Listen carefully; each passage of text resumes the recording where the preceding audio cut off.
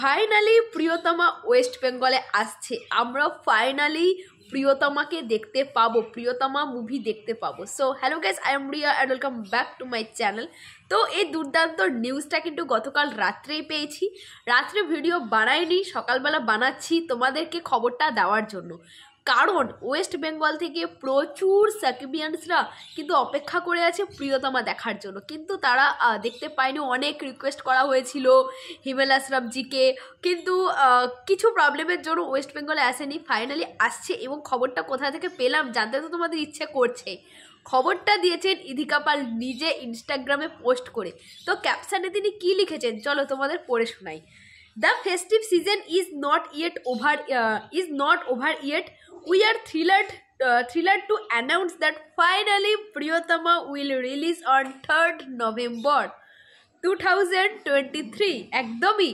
তো ফাইনালি কিন্তু দু হাজার তেইশের তিন মানে থার্ড নভেম্বর তিন তারিখ নভেম্বরের তিন তারিখ ওয়েস্ট বেঙ্গল আসছে, কোথায় কোথায় আসছে? West Bengal Assam and Tripura এই তিনটি রাজ্যে কিন্তু প্রিয়তমা আসছে, অর্থাৎ আমরা তো দেখতে পাবোই।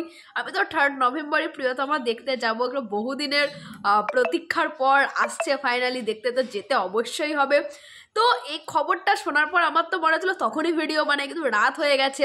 ওই সকাল সকাল তোমাদের কাছে খবরটা নিয়ে চলে এলাম, কারণ তোমরাও প্রচুর এক্সাইটেড ছিলে প্রিয়তমা জন্য।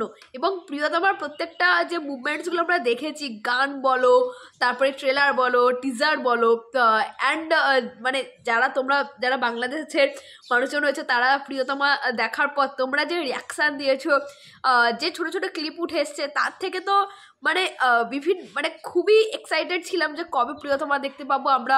মানে প্রত্যেকে যারা রিভিউ করি, তারা প্রত্যেকেই হচ্ছে পরিচালক থেকে শুরু করে যাদের যাদের পসিবল সবাইকে রিকোয়েস্ট করা হয়েছিল। কিন্তু কিছু প্রবলেমের জন্য তখনও ওয়েস্ট বেঙ্গলে আসেনি। তো ফাইনালি কিন্তু প্রিয়তম ওয়েস্ট বেঙ্গলে আসছে। প্রচুর প্রচুর প্রচুর এক্সাইটেড কতটা এক্সাইটেড মানে বলে বোঝানো যাবে না আর কি। তো দেখছি। তো কেমন লাগল প্রিয়তমা? অলরেডি যারা তোমরা হচ্ছে বাংলাদেশের মানুষজন রয়েছো, তারা তো জানোই যে কেমন হয়েছে। তো আমরা যারা ওয়েস্ট বেঙ্গলে রয়েছি তারাও তোমরা দেরি না করে থার্ড নভেম্বরই কিন্তু হলে গিয়ে প্রিয়তমা দেখে এসো। তো পরবর্তী আপডেট নিয়ে তোমাদের সঙ্গে শীঘ্রই দেখা হচ্ছে। ভালো থেকো, সুস্থ থেকো, টাটা।